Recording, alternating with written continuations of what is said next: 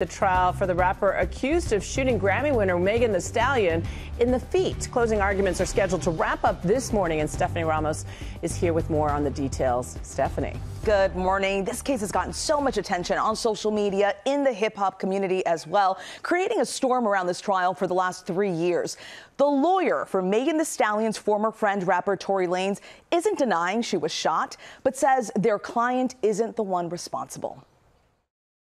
This morning, closing arguments continue in the blockbuster trial involving rap star Megan Thee Stallion against fellow rapper Tory Lanez, who prosecutors say shot at Stallion's feet after a party in the summer of 2020. There's no doubt that a crime occurred. There's 911 call that has gunshots going off. There's bullets recovered from her foot. It's neither a what happened nor a who done it. In court Wednesday, the judge asked if Lanez wanted to testify. He said no. Earlier in the week, a witness called by the defense, Sean Kelly, testified that he saw Megan and her then assistant, Kelsey Harris, fighting each other outside of a vehicle, adding that a man fitting the description of Lanez's driver left the vehicle to try to separate the two women.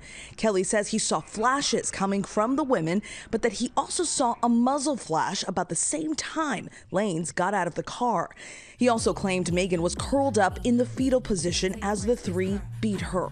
Anytime there's confusion about the facts and what happened in a criminal case, that bodes well typically for the defendant. Last week, the three time Grammy winner provided emotional testimony against Lanez, describing how she got into a heated argument with her fellow rapper and former friend, saying he was holding the gun pointed at me, and claiming Lanez ordered her to dance before firing, injuring her feet.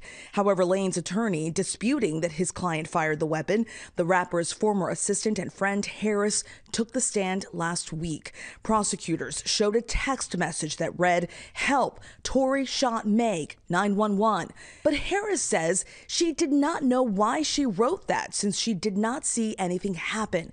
Meanwhile, the recipient of that text, Megan's bodyguard, has gone missing right before he was set to testify. The bodyguard was called as a part of the prosecution's case. I think the prosecution was absolutely frustrated the 27 year old superstar has faced backlash from some members of the hip hop community. Drake appeared to accuse her of lying about the shooting in a recent song. But supporters of the star, including Congresswoman Maxine Waters, says this is a clear example of why black women need to be believed when they tell their stories. She's a human being, and um, this is a complicated thing for a young person who's a superstar to go through.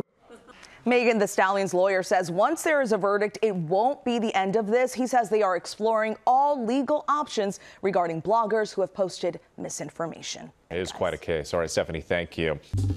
Well, hey there, GMA fans. Robin Roberts here. Thanks for checking out our YouTube channel. Lots of great stuff here. So go on, click the subscribe button right over right over here to get more of awesome videos and content from GMA every day, anytime. We thank you for watching and we'll see you in the morning on GMA.